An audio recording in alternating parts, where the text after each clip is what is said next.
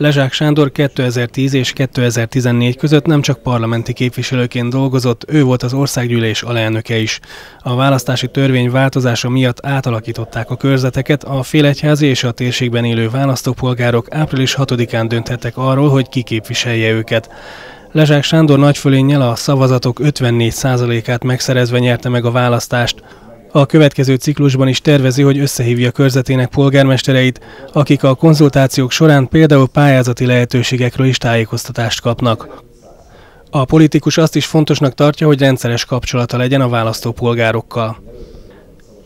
A fogadó az nem azt jelenti számomra, hogy reggel, nem tudom én, 9-től fél tízig egyik település, fél tíztől a másik település, ilyen látszat fogadó, ez valóban olyan fogadóra, ahova eljöhet bárki szomszédtelepülésről is, és akar találkozni a képviselőjével négy szem közt, mert olyan drámája, olyan ügye van, amit, amiben tanácsot kér, vagy esetleg olyan javaslata van, vagy információ a településről, akkor szívesen látom, és erről el tudunk beszélgetni.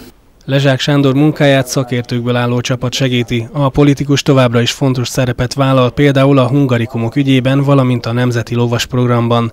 Lezsák Sándor a Fidesz-KDNP kétharmados győzelméről elmondta, nem zárja ki, hogy a következő parlamenti ciklusban is élni fog ezzel a lehetőséggel a kormány a döntések meghozatala során. Hozzátette, a megye kormánypárti képviselőivel is kezdeményezi a konzultációs együttműködést. Magam is úgy gondolom, hogy és kezdeményezője leszek egy olyan képviselői együttműködésnek a Fidesz KDNP által megválasztott megyei képviselőknek egy állandó jellegű konzultációs összejövetelére utalok, amelyik, amelyik így meg tud jelenni nagyobb súlyjal a, a parlamentben, döntéseket föl tud gyorsítani.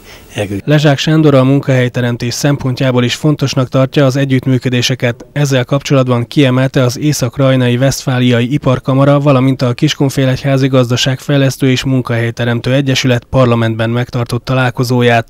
A politikus hozzátette, a Félegyházihoz hasonló egyesületek létrehozását tervezik Izsákon és Kiskunmajsán is.